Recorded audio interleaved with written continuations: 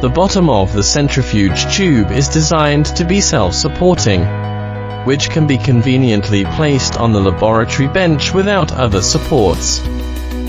In this way, sample confusion and cross-contamination can be avoided, and experimental efficiency can be improved.